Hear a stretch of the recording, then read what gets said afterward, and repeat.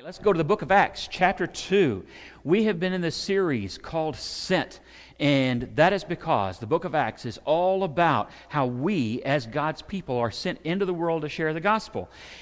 Acts is often referred to as the Acts of the Apostles or the Acts of the Church, and we look at it that way. We also sometimes look at it as a book of law for the church, a lot of rules that we're supposed to look at and follow. And really, it's, it's kind of none of those things. The book of Acts was written by Luke, who wrote the Gospel of Luke, to be an explanation of what Jesus began to do and to teach. He says that in chapter 1, that this is what Jesus began to do and to teach. Jesus still lives in his church, in his people. He still teaches through his church and his people. He still serves, works, and heals through people in his church. And all of that uh, began while they were waiting in Jerusalem for the Holy Spirit to empower them. And then the, the, day of Pentecost came, 50 days after the Passover. And Peter and the other disciples get up and they start to preach the gospel to the people who were present. Thousands of people who had come to Jerusalem to celebrate Pentecost. They're gathered at the temple. They get up and they start speaking by the power of the Holy Spirit. And as they do, the people start asking questions. They ask questions like, what does all this mean? They're speaking in tongues. They're speaking my language. They're, they're preaching a gospel about Jesus and saying he was raised from the dead. What does all this mean? And we talked the last couple of weeks about what that means for them. For them, it meant that they needed to repent and to come back to the Lord. That's what repent means to turn their hearts and minds back to the Lord, to be baptized in the name of Jesus for the forgiveness of their sins. It means the same thing for us today. And then uh, we get to the verses that we're looking at this morning. After they ask the questions, what does it mean? After they ask the question, so what are we supposed to do about our sin? We were part of crucifying Jesus. We shouted, crucify him. What do we do about that? And after Peter has said, You need to repent and be baptized, every one of you, in the name of Jesus Christ for the forgiveness of your sins, that's what they did. 3,000 people that day, thousands more in the weeks that followed. Our what do we do is the same, and we talked about that last week. We have, like them, at times rebelled against the will of God. We have, at times, lived lives that were sinful, that were disobedient, that lacked faith, where we made huge, big mistakes. And what do we do when that's the case?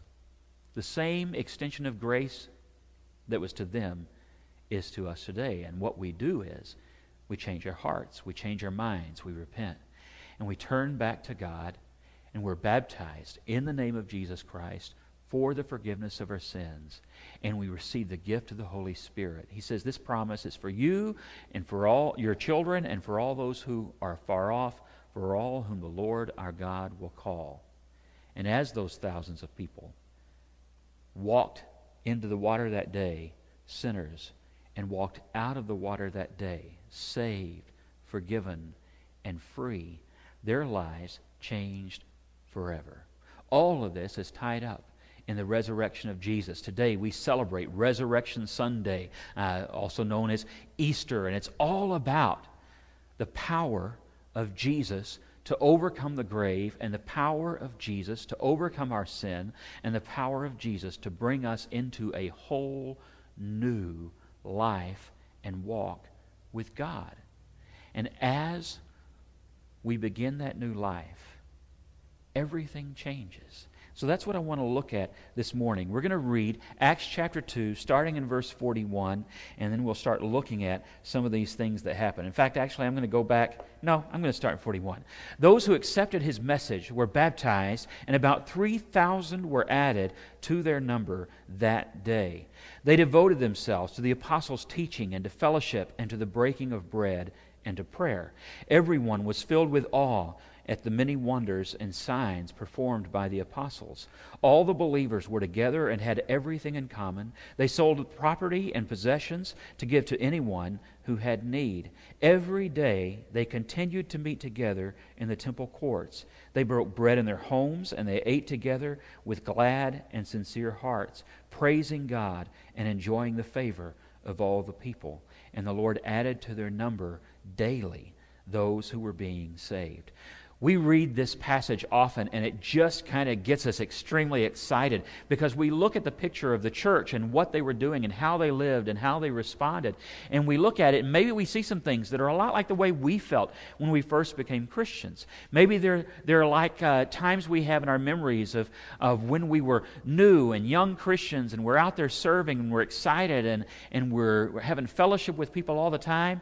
Uh, pre COVID, maybe you go to, to pre COVID things when uh, fellowship was a lot more often and classes were a lot more often, and, and you got to go out and serve people, not just by yourself, but together with your brothers and sisters in Christ. And you miss that and you long for that. And you read this passage and you just go, That, that's what I signed up for.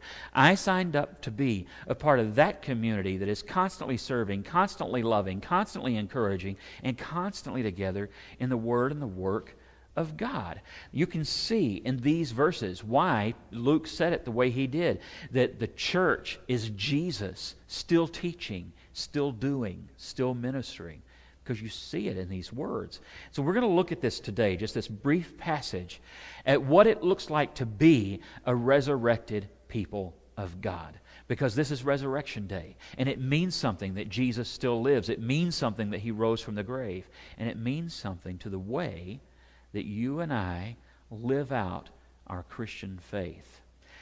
It changes everything in part because it's born of joy. And this is where I think we have to start. When they responded to the gospel, they responded in repentance, but they didn't respond in a repentance that was based on, I broke a law, I'm being punished, and I want to get out of trouble. Okay, Jesus is not just your bail bondsman, Jesus is your Lord and Savior. He's your Redeemer. He's the one who restores your love and your relationship with God. He restores your heart, your mind, and your soul. And that brings a peace that passes understanding, Paul says, and it brings a joy that just should bubble up and fill up our souls and our life. And I think if you look at Acts chapter 2, 42 to 47, even though the word joy is never mentioned, joy just oozes out of this passage. Uh, law doesn't do that, does it? Law doesn't have a way of making us feel awesome about the laws. When I'm driving down the road, there are all kinds of laws. And there are the laws that I like, and there are laws that I don't like. I like laws that keep us in our lane, okay? I like laws that say that you ought to use your blinker because that way we know what's going on, we know what your intentions are, and we're less likely to run into each other. It doesn't bring me joy when you put on your blinker, though, right? You obey the law, you fulfill the law, it helps us, it's useful, but it doesn't bring me joy law doesn't really do that. There are laws I don't like. Uh, laws like uh, 75 miles an hour. You know, I might, if my vehicle were one that would get better gas mileage when it goes faster, instead of watching the needle start to go down around 80 miles an hour, then I would love to just be able to drive as fast as I want. That would bring me joy, or at least happiness. But, you know, laws that say I have to slow down to 35, 45 miles an hour, I don't enjoy them all that much. But they're there, and they're there for our protection, and, and they can be good and useful and helpful and things like that, and help us avoid problems. But they don't, they don't bring us joy. The joy that we see in them is not because they had been nailed to the pew, beat over the head with a particular scripture. You might think that if you look at what Peter said to them. He convicts them of their sin, and the Spirit convicts them of their sin. But their joy was born in their redemption, was born in their forgiveness. They were excited. They were joyful. They were loving. They were kind. They were generous. And that is one of those things that is born out of their new freedom in Christ. They have been set free. And like people coming out of Auschwitz or a slave having their chains broken off and set free. They are loving and kind and happy and generous because they're excited, because their joy has been restored, because they are set free by the sacrifice and resurrection of Jesus Christ, by the Spirit that it now has come to live within them because they are children of God. That doesn't happen when we start to treat the book of Acts like a law book. Like we look at the book of Acts so that we can figure out here's what I can legally do and illegally not do as a Christian. Are there things in the book of Acts that teach us how to, how to be the church and some of the things uh, that, we, that we ought to be doing as a church? Yeah, there are some practical things in the book of Acts. How do you deal with this problem? How do you deal with this problem? There are also some things just. Uh, examples of, of what not to do. Ananias and Sapphira, we learn pretty well. Don't you be lying to the Holy Spirit, right? Uh, so there are some things, there are warnings even in the book of Acts. But that's still not what the book of Acts is. The book of Acts is what Jesus began to do and to teach. And so as we look at it, we're looking at history a history that's meant to inform us about what the early church was like, about what Jesus was like as he worked through that church, about what the Holy Spirit does and why he does what he does, about who we are in Christ. It's meant to inform us, it's meant to inspire us, it's meant to empower us to do the Lord's work. And as it does, it brings us joy because we start to see in that story of the early church and as Jesus worked through it who we really are and who we want and aspire to be a people that live like these verses. I've known so many Christians who've looked at this, whether they were new Christians or old, and they look at that and they just go, that's, that's the kind of church I want to be a part of. That's where I want to go. That's where I want to worship. Those are the people that I want to know. Let me challenge you this way. If that's the church that you want to be in, then that's the church that you need to be. Don't go looking for a church that is that. Become the church that is that. Because that's really what the book of Acts is all about. It's not about going out and looking for something that already exists in a body, it's about us becoming that body of Christ. And wherever the Holy Spirit is and however He works, He will equip and empower us to be that church. And the book of Acts shows us so many ways in which that is true. Brothers and sisters in Christ in the first century going all over their world. And as they went, they preached the gospel, they lived the gospel, they shared the gospel by the Holy Spirit, and they set people free to serve the Lord and to love their neighbor as He wants us to do. That's what it means when it says that where the Spirit of the Lord is, there is freedom. We are set free from our mistakes, set free from our sins, set free from all the expectations of the world to live out the life that God called us to.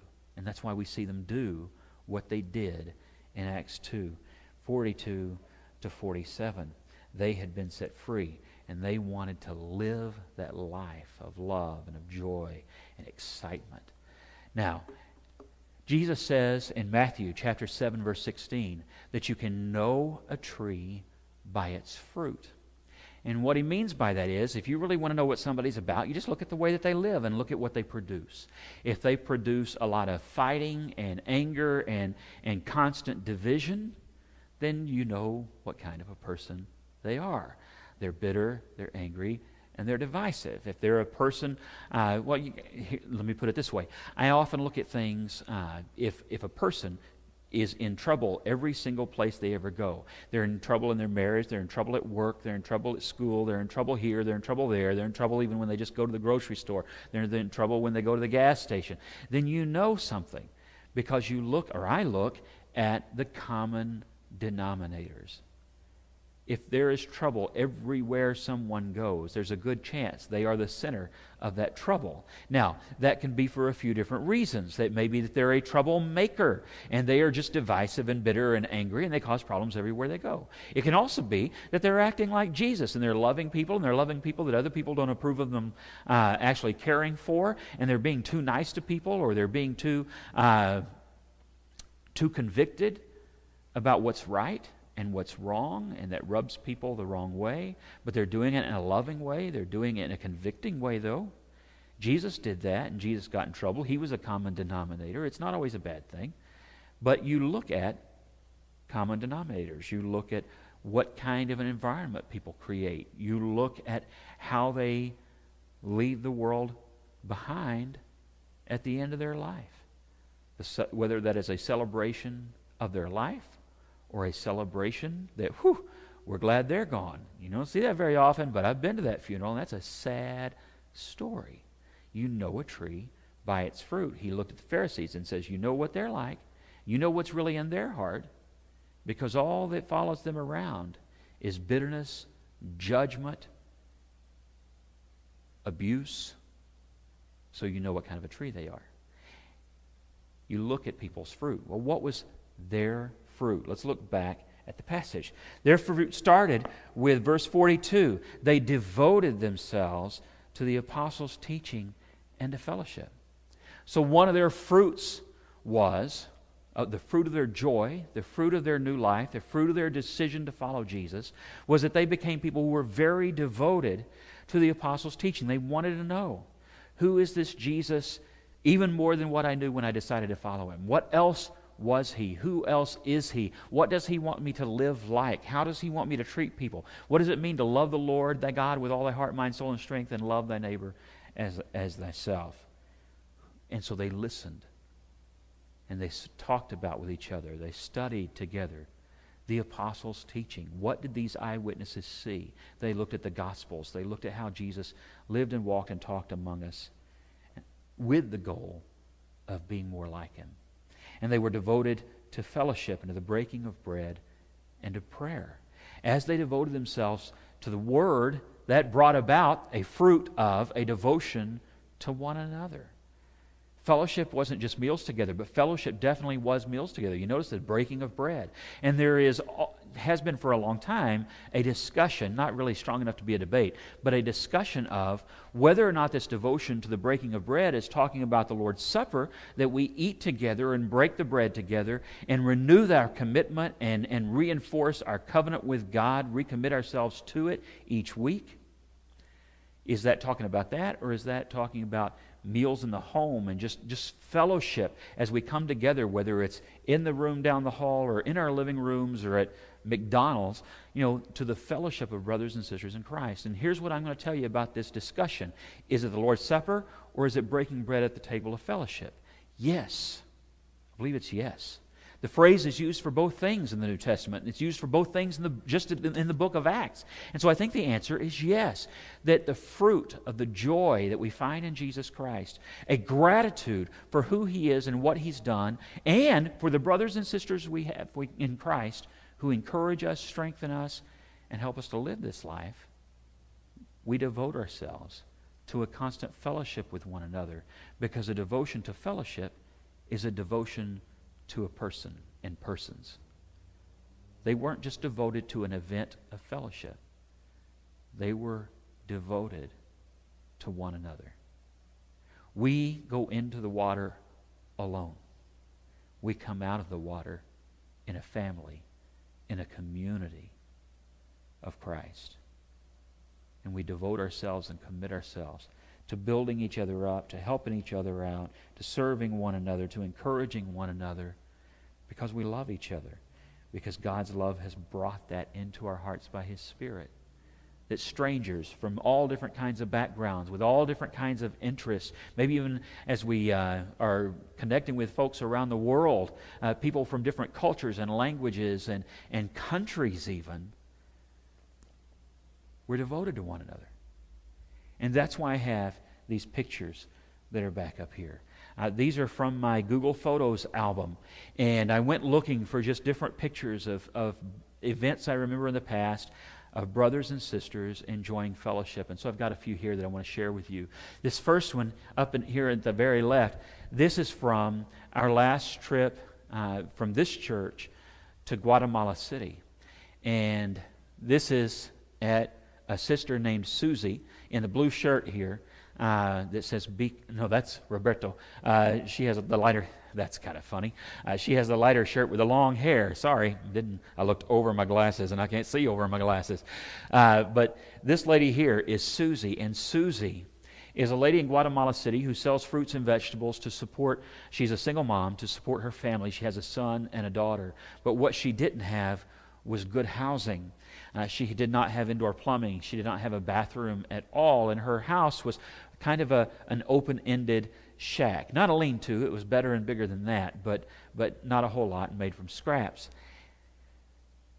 We decided she needed, because she was in a desperate situation, she needed a, uh, a bathroom and a shower. And, and so this church, members in this church, got together and gave the money to do that because that's the fruit of a loving people who care about brothers and sisters in Christ around the world, whether they've even ever really met them and gotten to know them all that well or not, because we're brothers and sisters in Christ. And so we got that money together so that we could get her. Uh, originally, all they were asking for was to be able to get for the outhouse built. Well, it got bigger than that. Next thing you know, that had grown into an enclosed restroom. And so we were able to get enough to get all of that done, dug and, and enclose the restroom. And then a church in Tennessee, in Franklin, Tennessee, uh, who also make mission trips down to Guatemala City, they got involved and, and uh, uh, upgraded the enclosure of this outhouse. It's not an outhouse. This is a full restroom with plumbing. And then decided, you know, why don't we go ahead and get some more materials and just finish off the rest of her small home? Now she has a good uh, cinder. It's a cinder block concrete home with a metal roof. By American standards, uh, you might say uh, that it is a humble home, but I will tell you, it is a mansion to Susie, and it's awesome when you walk into it if you know what was there before brothers and sisters in Christ devoted to one another. Make those kinds of sacrifices.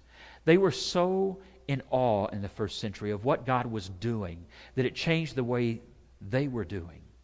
They saw the Holy Spirit work with wonders and signs and miracles, showing that Jesus was who he said he was, and the church was to be what he said it was to be. And so when he called them to generosity and called them to self sacrifice, they said, Sign me up and they just started doing it and they were together and they shared with one another whatever was was needed. And so we shared with Susie. And other Christians from Tennessee jumped in and shared with Susie and built her not just a restroom but a whole house.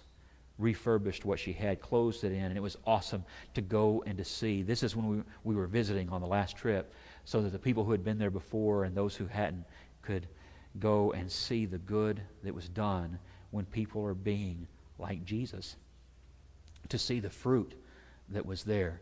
In this lower picture, this is a, a picture from probably 1995. I believe this is the summer of 95 in Perm, Russia.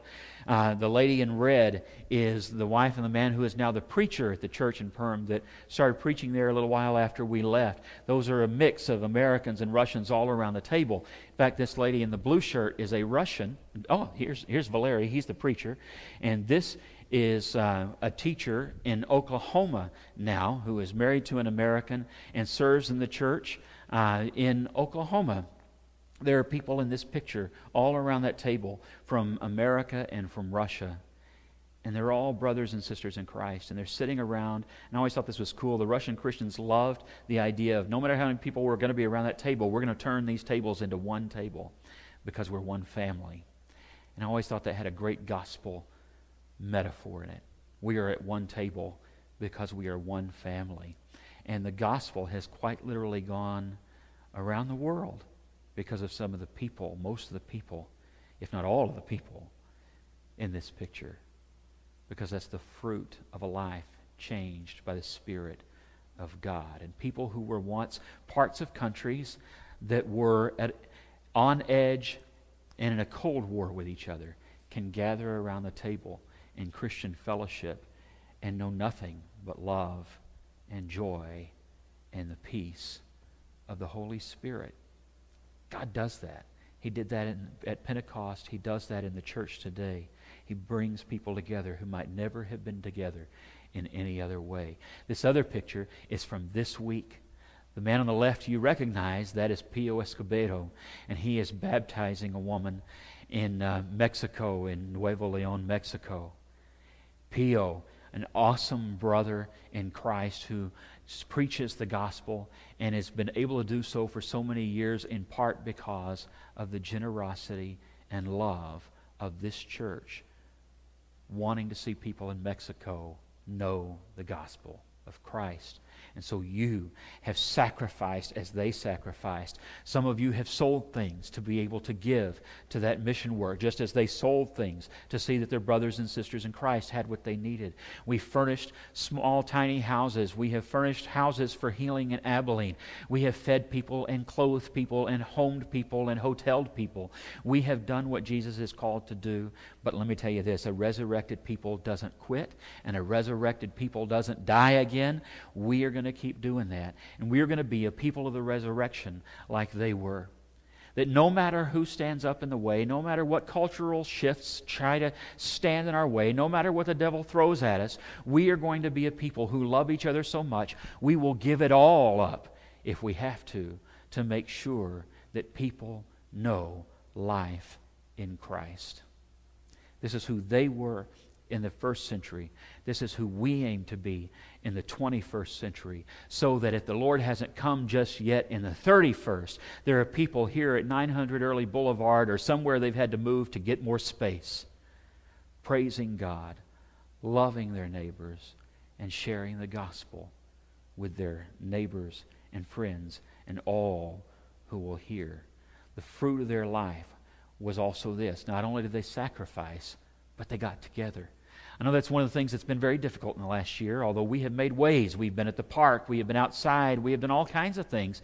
And so if, if you haven't been together in the last year, that has been, quite honestly, most of the time, your choice not ours. We have made those opportunities possible. And even if they were online and you didn't like it, the possibility was there, wasn't it? A resurrected people doesn't matter how you get together, it matters that you get together. And if it has to be online, in the park, in the parking lot, or, or wherever, we're going to do it, right? That's what resurrected people do because they understand all too well that they never want to go back to the loneliness of being lost and they don't want anyone else to feel that way either. And so we make those opportunities. It's always like in the parable of the sower we scatter the seed, and it either grows or it doesn't, but we're going to keep scattering that seed. They shared life, they also shared their homes together.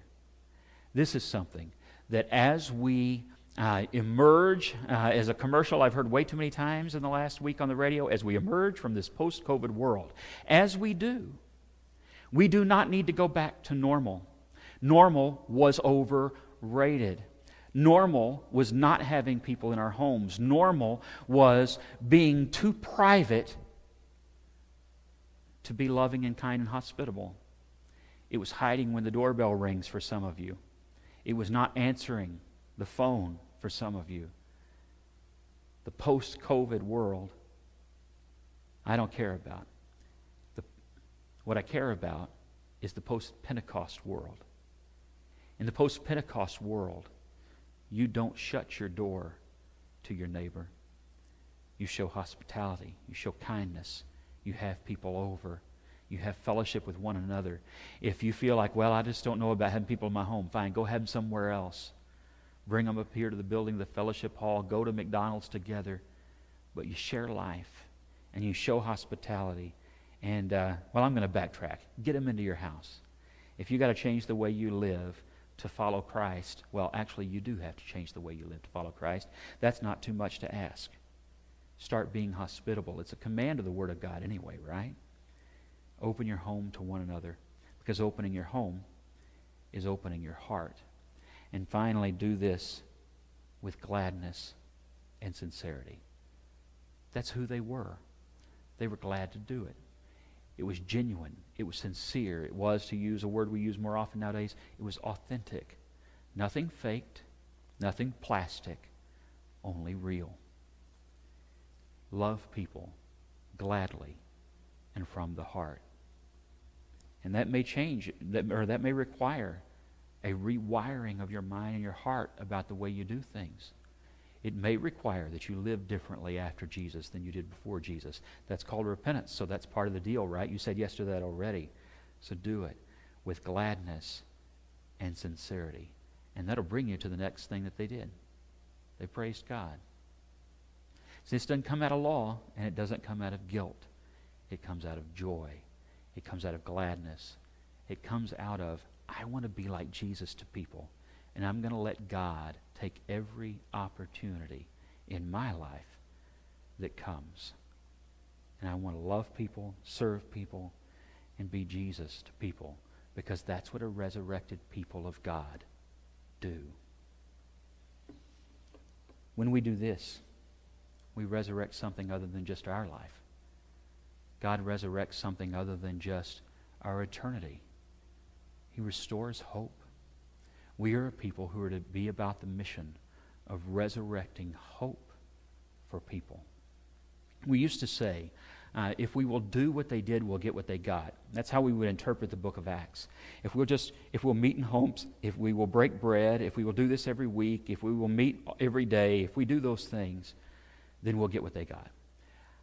I don't think that's actually quite accurate enough. If we do what they did, maybe we'll get what they got. Maybe we won't. Maybe we can meet every single day and we still don't grow. That happens in churches all over the world, happens in groups all over the world. Maybe we will, maybe we won't. Because the, the true power in their example, the true power in the resurrection people of God in Acts chapter 2, 42 to 47 is this. It's not that if we do what they did, we'll get what they got. It's that if we will become what they were, we will get what they got. And what they were was a believing, loving, serving, sacrificing, praising people of God. They were people who let the Holy Spirit and the gospel not just live within them, but live through them and out to other people. They proved the love of Christ by showing the love of Christ's people. And in that way, they enjoyed the favor of all the people. And people were being added by the Lord to the church every single day. I would love to see that again. I long to see that again. It gives me goosebumps and it kind of makes me choke up some because I want to see that again. But I don't believe it comes through a rigid recitation of a first century church schedule. I believe it comes through a spirit filled, a spirit inspired, a spirit empowered resurrection of what it means to be the church to be the church living, the church loving, the church serving, the church on mission in the world. Let's pray together. Father, we thank you for our brothers and sisters in Christ that went before us and gave us such an incredible and inspiring example of what it means to be your body. And Father, we pray that Christ will live in us and through us and inspire us to go out and lead us out into the world to bring people to you. Father, we pray that we will be humble, loving, and kind. We pray that you will teach us to be more like your Son every single day so that more come to your Son every single day. It's in His name that we pray. Amen.